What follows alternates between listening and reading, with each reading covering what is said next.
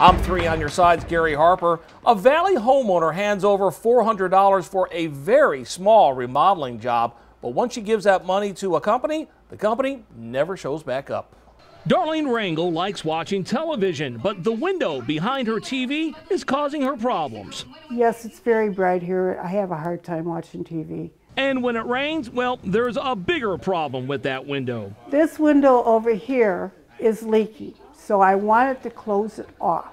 Closing off the window entirely, Darlene thought, was the best option. So Darlene looked around and found a company advertising in a small neighborhood newspaper. The company's name, DNA. I contacted DNA uh, Handyman Services.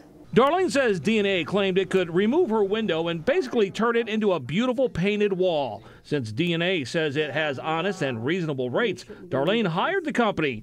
For just over $1,100, DNA said not only could it wall off this section behind her living room TV, but also another window in a bedroom. To get the job started, she handed over $400 cash to a guy named Dennis Gray, who runs DNA. But nearly a month later, Gray and his company, DNA, never returned, meaning no work was ever started.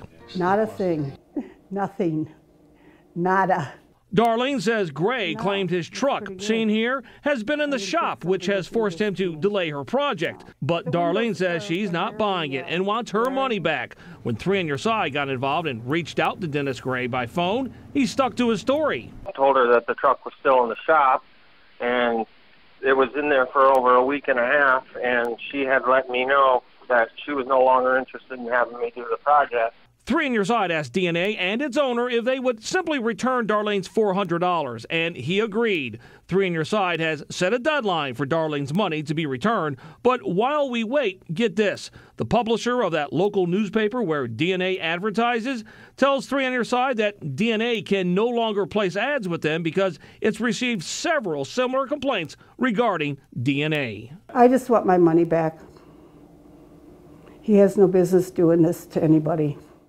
Well, of course, as you heard, the money is supposed to be returned by a certain deadline, but will it be? We'll stay on top of it and I'll let you know exactly if the cash is returned, and I'll let you know in a follow up report. I'm Gary Harper, three on your side.